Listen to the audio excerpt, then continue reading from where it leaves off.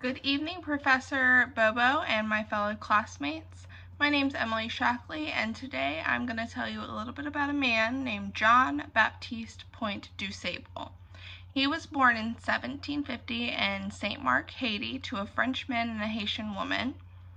In 1770, he settled at the mouth of the Chicago River and found a Powhatan wife whose English name was Catherine. They had a kid and then ended up moving north towards the Great Lakes where he befriended a group of Indians. Um, this is actually a very important aspect of his life because this specific group of Indians was not very welcome to outsiders. Um, however, he was able to help them hunt and teach them how to trade and they also taught him some valuable life skills. Once he left there, he settled up north at the mouth of the Chicago River and set up a trading post. This trading post had a bakery, a mill, um, of course, a trading post for travelers and pioneers, and it, he made a decent amount of money off of this because it was a very high traveled area and a lot of people came through needing certain goods that they needed to get farther ahead.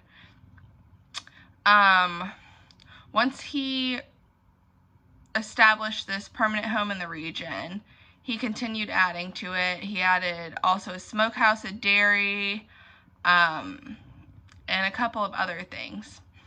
Later in his life, though, he did go through some hardships. Um, his trading post became wildly successful and he was known around the region, but him and his family were eventually detained by British soldiers for about five years during the Revolutionary War. Uh, around 1784, he brought his wife and his two kids home. Uh, they went back to his land and had a Catholic priest marry him and Catherine. Um, he ended up eventually selling his land for about $1,200. The reason isn't really known, but he moved to modern day Peoria for around 13 years and then he sold his land again. After that, he moved to St. Charles, Missouri for about five years and then he died penniless in 1818. Um, an important fact about him is in Chicago, he is the first resident, but his great granddaughter is actually the first child born in Chicago and there are several museums with exhibits uh, in his honor. There's schools named after him. There's streets named after him. And he lived an all-around pretty successful life. He, I mean, he died happy. He had his family. He wasn't, he was a free man his whole life from what is known.